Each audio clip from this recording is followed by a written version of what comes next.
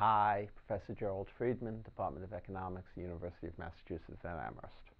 And we're here today to talk about American exceptionalism. Why the American working class is different. Or perhaps it's more correct to say why the American working class produced different types of social movements than was seen in Europe and in Canada or in Japan. Why the American working class did not produce a powerful, a large socialist or communist union and union movement and political organization. Okay, last time we talked about Sombart and his simple-minded model, which is things happen to workers who then create institutions.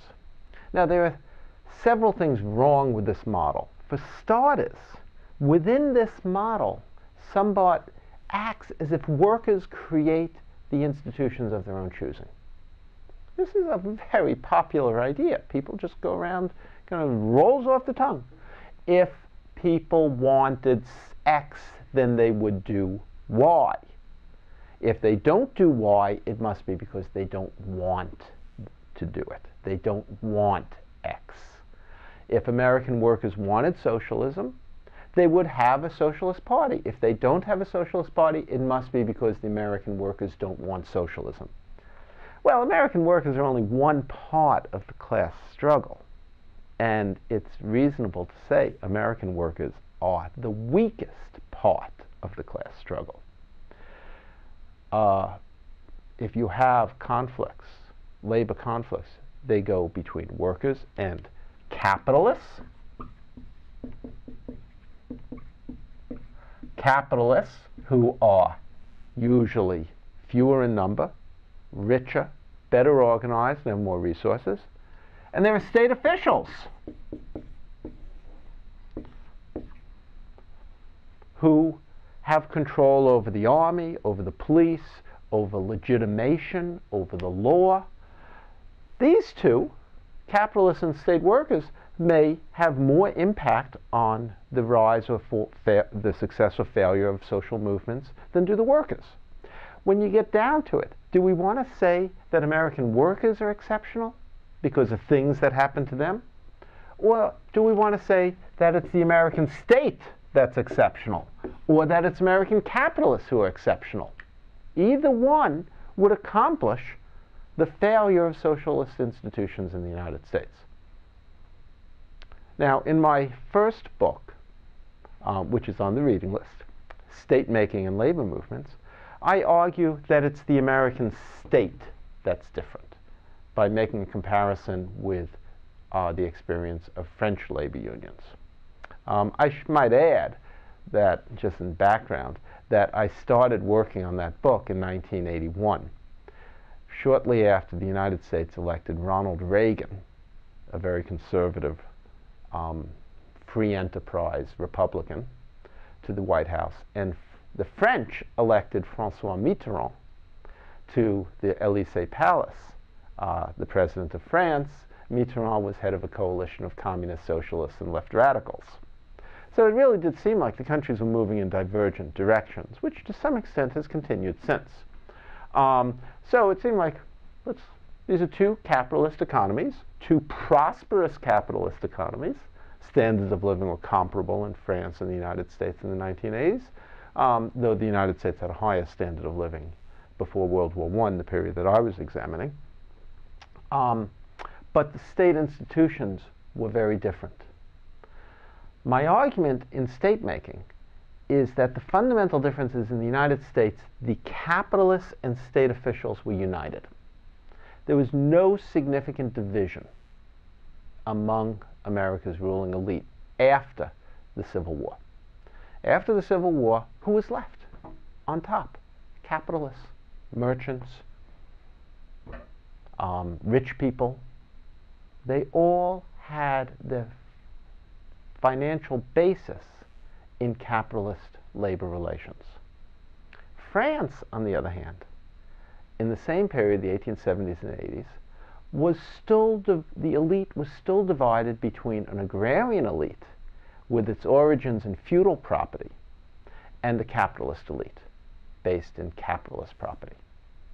Um, that division, which continued well into the 20th century in France, divided those who favored the restoration of the monarchy um, against those capitalist bourgeois, workers who favored a republic. And remember, France's republic, the Third Republic, was founded in 1871 uh, to arguably 1877 after the monarchists lost control of the Constituent Assembly. It was a very open question down to practically to World War I whether the republic was going to survive or would be replaced by a monarchy. Monarchists regularly received over 40% of the vote in French elections. Indeed, there was an attempted coup d'etat in 1900 during the Dreyfus affair. There was another attempted coup d'etat as late as 1934.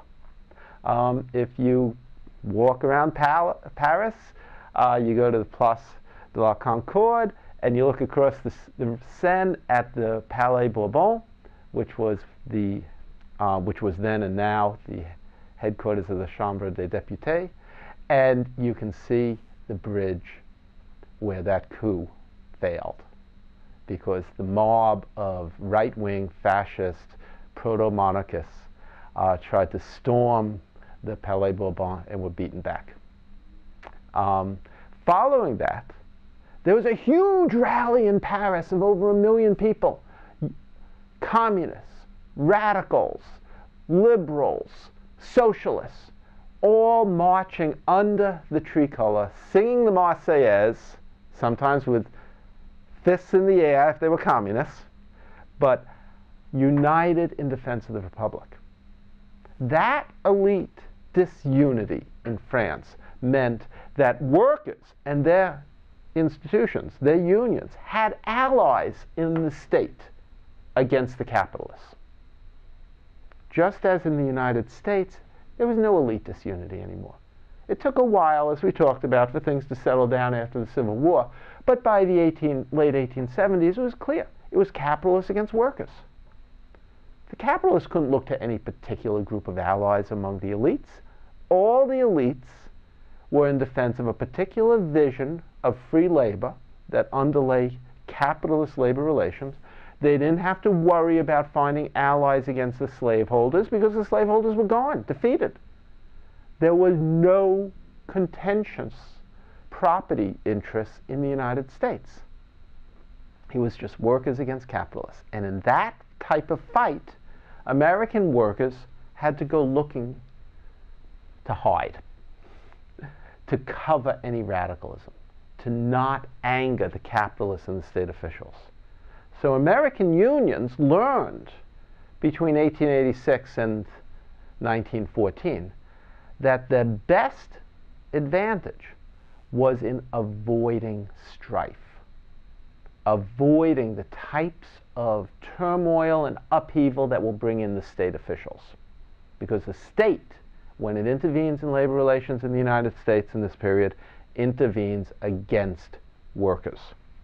So to the standard exceptionalist model, we need to add events. workers do things, they go on strike, they create events, and events shape the workers and their attitudes. You go to American unions in 1910, 1905, and they'll tell you, oh, we have to avoid this, we can't do that because the police will be on our necks. You go to French unions, and you ask them, do you want to how are you going to achieve your ends? And they'll say, we're going to get out in the street and we're going to make the prefect, the government official, listen to us. And he'll lean on the capitalists. French workers achieved their goals, won their strikes, by getting state intervention.